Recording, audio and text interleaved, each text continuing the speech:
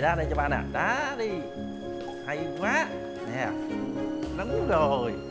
Nè đó đá mạnh lên mạnh lên đá mạnh. Đó mạnh nữa mạnh nữa. Đấy. Đã đáp cái kia cục vậy Dạ xin lỗi bà. Lỗi phải gì đây? Bực mình quá à chướng mắt. Mẹ à cháu nó xin lỗi rồi mẹ đừng có nóng tính nữa. Cháu nó đang chơi với con mà. Của rơi của rớt lộn qua đường với làm gì cháu của tôi chứ. Mẹ mẹ nói vậy không sợ bé em buồn sao? Nó buồn cái thấy kệ nó. Mắc mớ gì tới mẹ. Thôi đi con, con lên phòng đi. Tí mẹ lên với con nha. Đi đi con. Mẹ Mẹ có thể coi bé An như là cháu ruột của mẹ được không mẹ? cô còn dám mở miệng nói nữa hả? Cô đúng là đồ vô tích sự. Chỉ đẻ một đứa cũng không được á, phải dắt một cái đứa con rơi con rớt vào nhà này để làm con nuôi. Nhà nào mà có con dâu như cô á, đúng là vô phước á. Mẹ sao mẹ nói chuyện gì kỳ vậy? Mày nói không đúng nữa hả? Nhà người ta dâu người ta đẻ hết thế này tới thế kia ẩm bồng không kịp. Còn nhà mình à con nhìn đây xem. Nói giống như là một cây độc không trái vậy. Mẹ à sao mẹ nặng lời với vợ con vậy? Sở dĩ không có con là gì? Mẹ Con xin lỗi mẹ. Lỗi của con là con không thể để cháu nội cho mẹ được. Mẹ có trách, có mắng, có chửi thì sao con cũng nghe hết. Cô không cần phải xin lỗi tôi. Cô chỉ cần làm ơn làm phước để cho tôi một đứa cháu nội thôi để tôi có tôi ẩm tôi bồng thôi. Chướng mắt.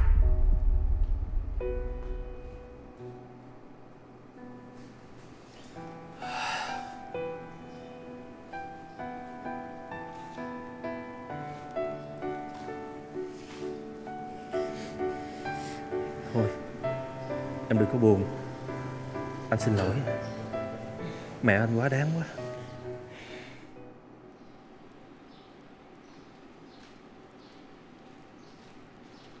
Chị Như Hả? Em mới về. Dạ em chào chị. Mới qua chơi. Chị đang làm gì vậy? Ừ, chị dọn dẹp nhà. Bỏ đi.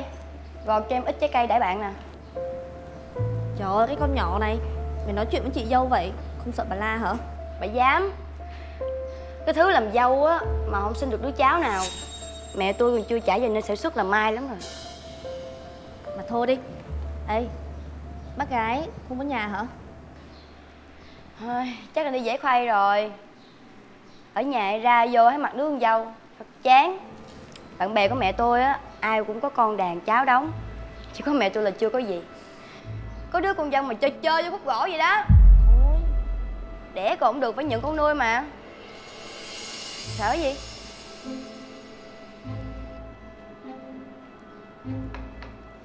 Hai đứa ăn trái cây nha. Ngọc không thích ăn bưởi. Đổi khác đi.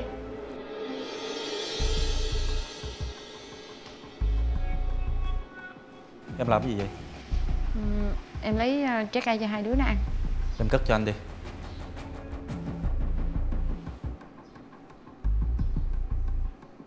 Mày nữa. Mày có tay có chân sao không tự lấy? Sai biểu ai vậy? Ờ Thì em thấy anh chị rảnh rỗi quá Không có chuyện gì làm. Đẻ con còn không đẻ không được mà. Thì tạo công ăn gì làm chỉ làm thôi. Dám nói lại một lần nữa không? Hả? Mất dạy. Mày mà còn ăn nói với chị dâu kiểu như vậy nữa có chuyện tao đó. Thôi Đừng có la nó Bỏ đi. Đi lên chuẩn bị đồ đưa con đi chơi em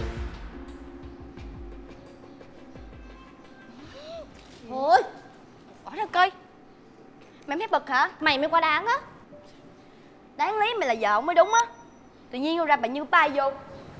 Ừ, thì đó là sự lựa chọn của anh Trung mà. Đâu phải tao cứ muốn là được đâu. Ê mà Còn thích anh hai tôi không? Ê, Thôi, mày hỏi cô đó làm gì? Bây giờ có thích thì gạo nấu thành cơm rồi còn đâu. Cụp khét thì có. Nhìn thử coi. Cưới nhau mấy năm trời Mà có được mụn con nào đâu. Còn phải nhận con nuôi. Mẹ tôi cũng ưa ra mặt ừ, Phải chi mà tôi có thể sinh cho bắt gái một đứa cháu thì hay biết mấy ha? Thiệt không? Mà sao bà hỏi vậy? Ừm, Thì tôi giúp bà thôi. Nhưng mà bằng cách nào? Anh Trung, anh có vợ rồi mà. Có vợ thì cũng vô dụng thôi tôi sẽ giúp bà giành lại anh Trung. Thôi, tôi không muốn phá vỡ hạnh phúc gia đình nhà anh Trung đâu. Ai biết là có thực sự hạnh phúc hay không? Ngày xưa anh hai tôi muốn có đứa con lắm Mà đâu có được. Ngoài mặt á là mến bé An vậy đó. Nhưng mà theo bản năng của con người Ai mà chẳng muốn có con ruột đúng không?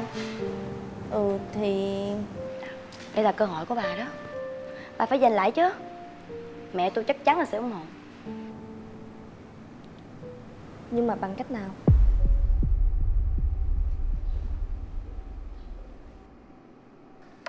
Ừ anh nghe nè. Alo Anh sửa bóng đèn giúp Ngọc chưa? Rồi. Nhưng mà sau này nè anh dặn nhờ người khác sửa bóng đèn đi nha chứ anh qua nhà ngọc như vậy hoài không có tiện đâu. Trời đất ơi Tại vì Ngọc không có nhiều bạn bè Không biết nhờ ai mới nhờ anh chứ bộ. Không lẽ Giờ em thấy con gái nhà người ta hứa bóng đèn mà không sửa giùm? Ừ thôi anh cướp máy à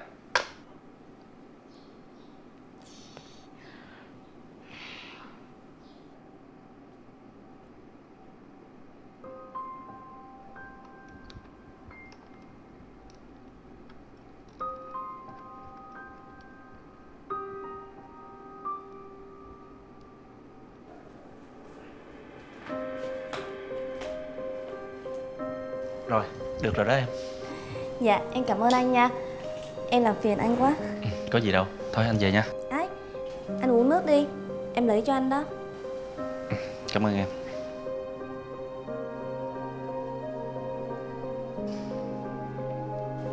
Anh về nha. Anh Trung. Ừ. Sao anh tránh mặt em vậy? em nói vậy là sao? Thì em cảm giác như vậy đó Chẳng lẽ Lý do Chuyện ngày xưa của hai đứa mình sao? chuyện ngày xưa là sao? Anh biết mà.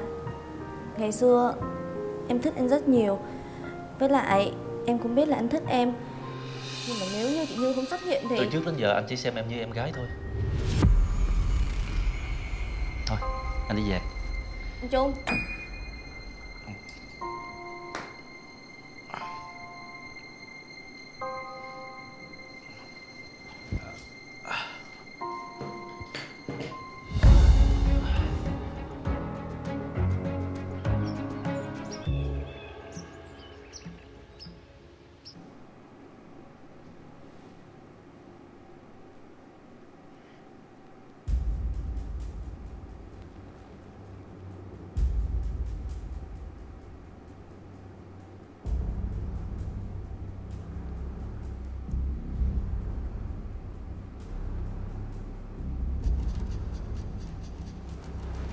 Ủa anh, anh dậy rồi hả?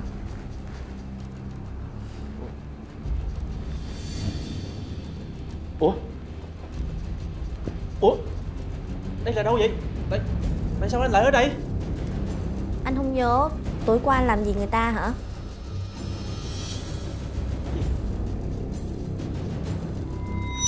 không lẽ anh Ừ, thì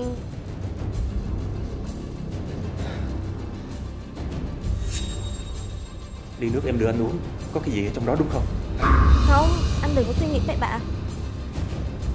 Chứ tại sao lúc đó anh nhớ anh sửa điện rồi anh định về? Mà tại sao bây giờ anh lại ở đây? Nhất định trong ly nước có cái gì đúng không? Em không nói anh cũng có cách tìm ra. Anh đến bệnh viện xét nghiệm Đúng vậy đó. Là em làm đấy. Chung mà Cũng chỉ vì em yêu anh nhiều quá thôi.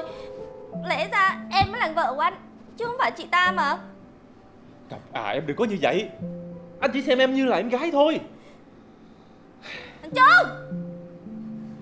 Anh Trung! Anh Trung!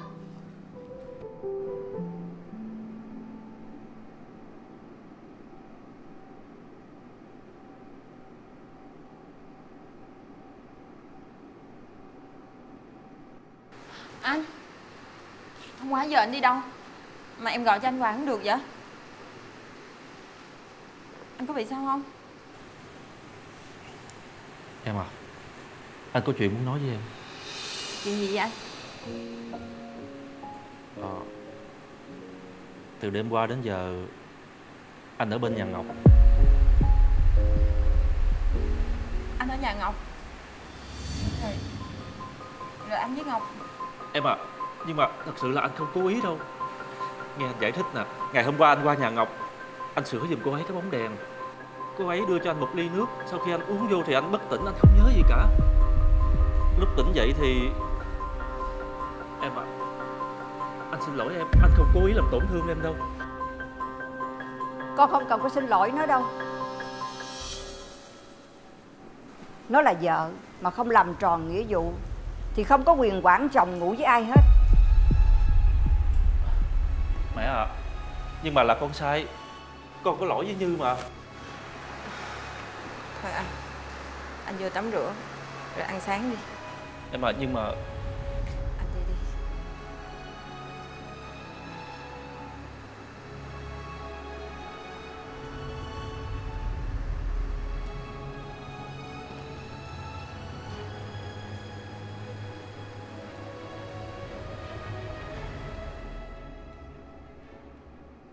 Anh đi công tác khoảng một tuần anh về.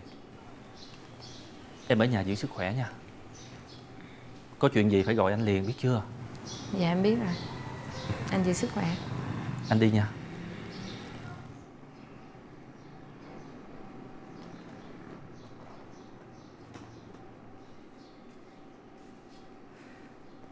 Trời đất ơi Còn ngóng nữa hả? Không chịu vô làm công chuyện nhà đi. Dạ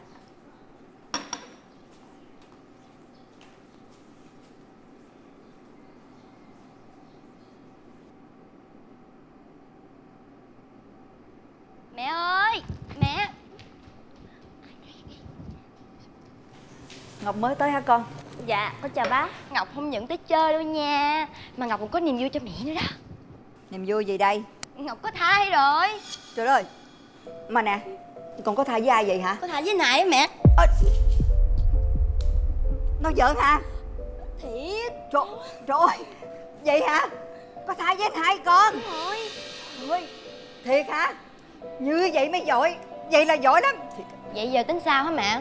Còn tính sao nữa Con à Nghe lời bác Dọn về đây ở đi Để cho bác có điều kiện. Bác bồi bổ cho con Bồi bổ cho cháu nội của bác Nha Thôi nhưng mà không được mẹ Vậy thì thiệt cho Ngọc quá. Cái gì mà thiệt? Mẹ đã kêu nó về đây rồi Mẹ lo hết không có thiệt gì hết trơn á. Thân mang cháu nội của mẹ Mà dọn về đây Không có danh phận gì hết trơn á. Sao lại không có danh phận?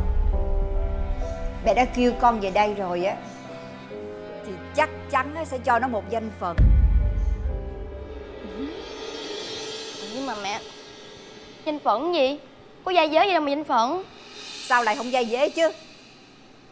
Dù gì thì người ta cũng là chính thức mà mẹ.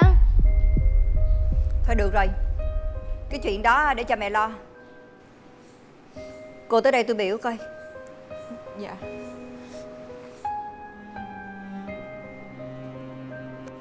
Hồi nãy giờ cô đứng trong đó chắc cũng nghe hết câu chuyện rồi phải không Khỏi mất công tôi nói lại.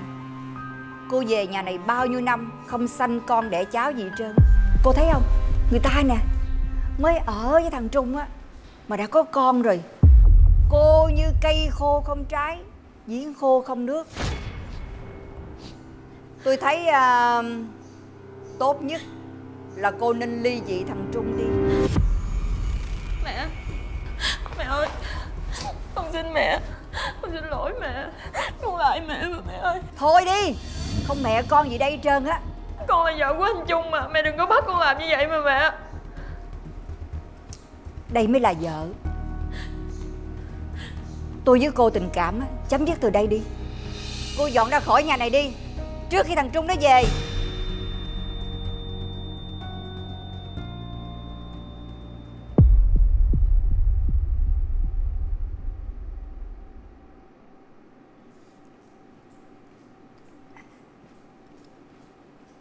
Con à Bác à, có nấu cho con tô cháo gà nè. À. Dạ thôi Con vừa mới ăn hồi nãy rồi bác ạ. Coi như là bây giờ ăn à, vì con của thằng Trung vì cháu nội của mẹ cho mẹ vui đi con. Nhưng mà Con có chuyện này muốn nói với mẹ. Con đã suy nghĩ rất kỹ rồi. Con thấy việc làm của mình bây giờ Không đúng ạ. Là sao vậy con? Ừ. Mặc dù con rất yêu anh Trung, Nhưng mà Anh Trung đã nhiều lần nói với con là trong lòng của anh ấy chỉ có mình vợ của anh ấy thôi.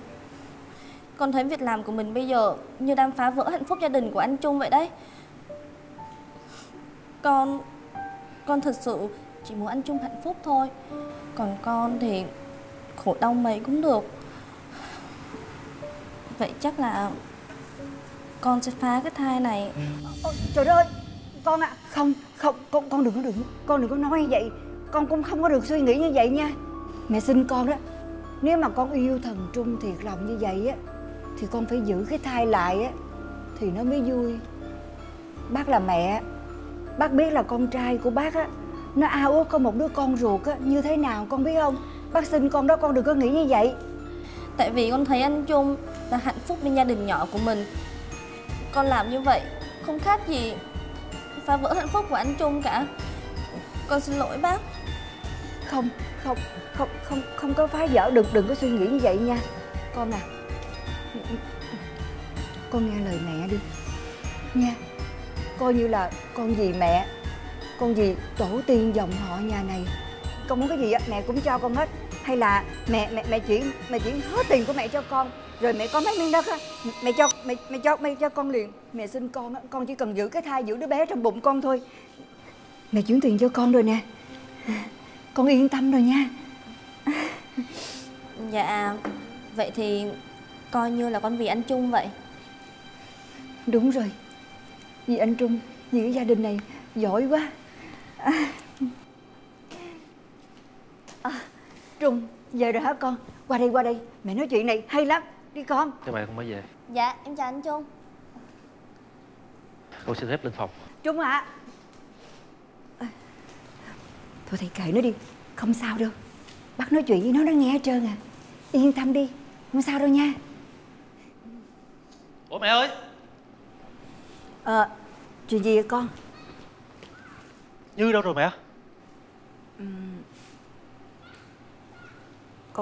con ngồi xuống đi. Mẹ có chuyện nói với con. Con như nó đã đồng ý ly dị và cuốn quần áo ra khỏi nhà này rồi. Ủa? Mẹ nói cái gì kỳ vậy? Vậy là sao? Không có trăng sao gì hết trơn á. Nó làm vợ mà không đẻ con được cho nhà này. Thì bây giờ buộc lòng à, nó phải ra đi chứ. Đây nè con ngọc nè. Con ngọc nó mang thai con của con nè. Thì nó còn có cơ hội gì mà ở nhà này nữa chứ? Mẹ làm cái gì kỳ vậy mẹ?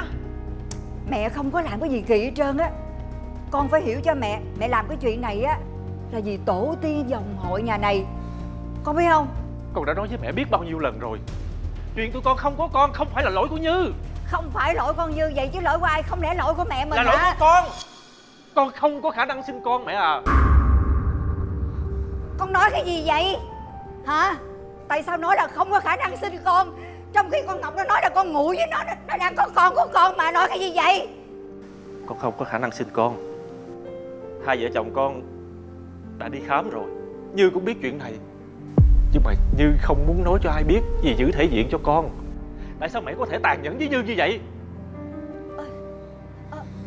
Vậy vậy vậy vậy, vậy chứ đứa, đứa nhỏ trong bụng con ngọc là ai? Mẹ sinh con con nói thật đứa, đứa bé trong bụng này là ai vậy? Sao mà chán quá vậy? Tôi cứ tưởng là tôi sẽ moi thêm tiền của nhà này nhiều thật nhiều. Ai ngờ màn kịch hạ màn sớm quá. Trời. Trời. Ơi tại sao vậy? Tôi thương cô đến độ nào?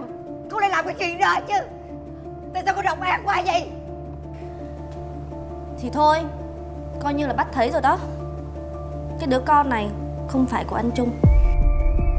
Tại sao cô lừa dối tôi? Tại sao Thì cũng do bác mà. Tôi đã nói với bác rồi Là phá đứa con này đi Nhưng mà bác không chịu nghe. Thấy tội Nên tôi mới diễn cùng bác.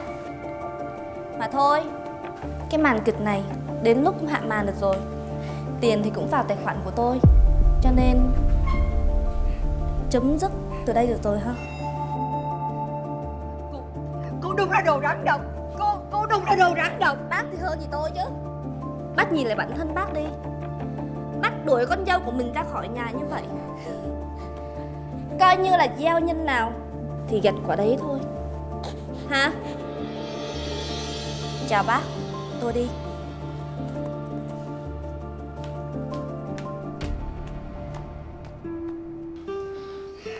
Mẹ thấy chưa? Mẹ thấy hậu quả những việc mẹ làm chưa? Mẹ sai rồi. Bây giờ con sẽ đi. Con sẽ đi tìm Như, Con không muốn gặp mẹ nữa. Tụi con sẽ có cuộc sống riêng. Mẹ đừng làm phiền con nữa. Trung à Trung. Mẹ xin con, Mẹ xin con mẹ biết lỗi của mẹ rồi. Mẹ xin con Con đừng bỏ mẹ đi. Mẹ xin con hả Trung. Mẹ xin con. Anh Trung Anh Trung. Sao vậy mẹ? Không mẹ con gì hết. Tại sao vậy? Tại sao vậy? À Tại sao mày rước rắn độc về nhà Mày là phá đám gia đình này hết rồi, mày biết không Chị hai mày bỏ đi Anh hai mày cũng đi rồi, mày biết không gì vậy mẹ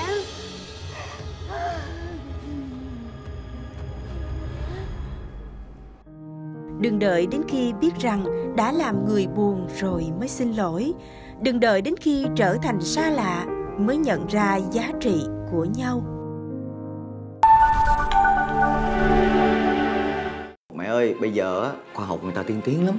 Nhất là bây giờ mẹ đừng có xem ở trên trang mạng nữa Làm gì hết trơn á. Tiền mất tật mang nữa đó. Bạn tôi nha có bị bệnh đau nhức như vậy đó nhưng mà đi uống thuốc gia truyền hết như thuốc tiên. Như là người mẹ bị sưng lên hay gì á. Ơi Nói cái gì vậy? Con tạ mẹ giống như là là, là mẹ sắp chết không bằng á. Ờ cũng tại gia đình mấy người bỏ cái thùng rác ở đây là nên vợ tôi mới té vậy á. Giờ tính sao? Con là con ứa gan cái nhà đó dữ lắm rồi tối ngày kiếm chuyện với hàng xóm láng giềng không à? Người ta nói á bán anh em xa để mua láng giềng gần.